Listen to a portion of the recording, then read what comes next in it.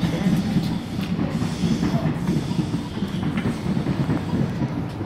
Hello world. Yeah, he's walking. Yay. In Summerhill, Okay. Lauren.